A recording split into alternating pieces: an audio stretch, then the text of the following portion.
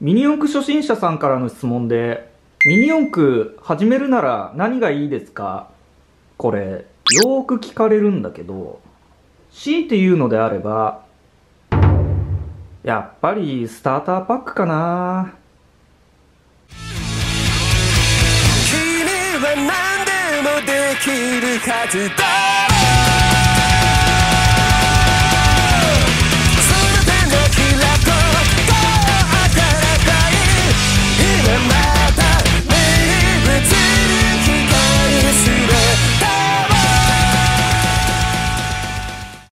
ミニ四駆初心者が作るガチ四駆。そういうテーマで今回からやっていこうと思いますが今回はその中でベースにしていくマシンミニ四駆プロミニ四駆スターターパック MA パワータイプを作っていこうと思います。これをおすすめする理由としましてはセッティングがしやすい MA チャージがベースでもうすでに基本パーツが揃っていること。チューンナップ用パーツを確認していくとトルクチューン2モータープロスーパーハードタイヤマスダンパーフロントアンダーガード FRP フロントワイドステー FRP リアワイドステーブレーキセット。これだけのボリュームがある中でキットの値段というのが2200円。これすごいお買い得です。さらにチューンナップ用パーツ組み立て用工具付きといったところでキットを開けて見てみると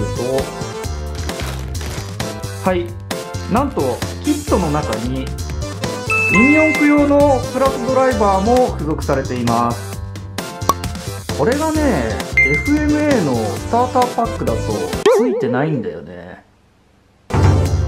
おお並べてみると結構なボリュームだね。ではこちら組み立てていきますが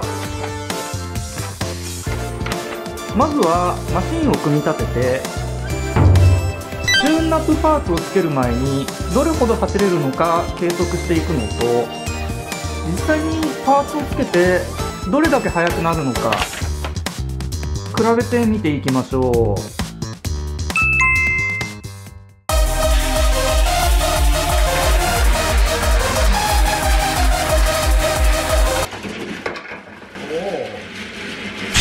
パターンか。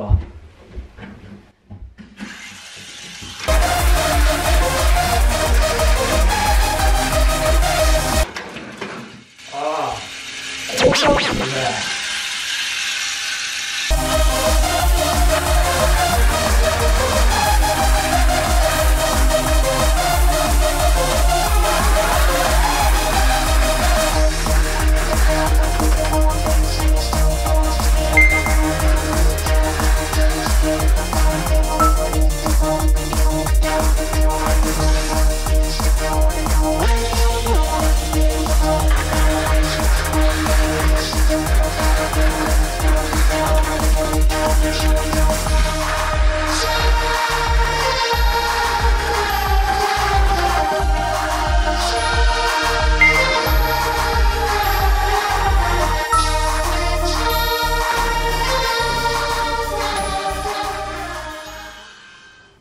はい、ということで、チューンナップ前のセッティングでは、コースを走り切ることができず、計測できませんでした。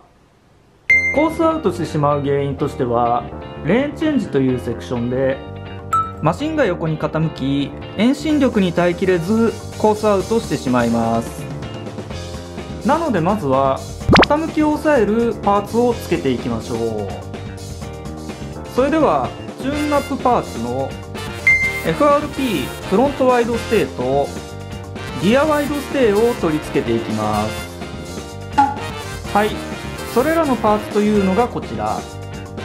もともとの効果としてはローラーを規定幅いっぱいに取り付け可能とするパーツになっています。なので先にワイドステーをつけてからローラーセッティングをやっていきます。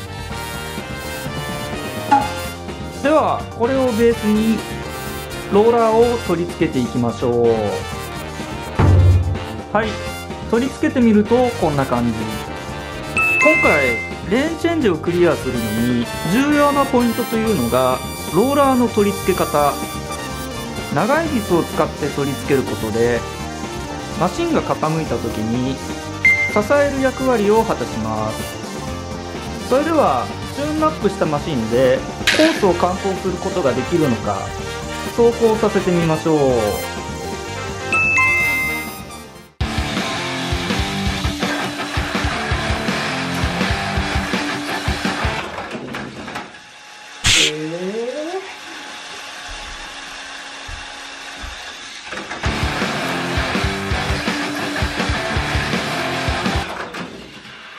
やいやいやいやいや。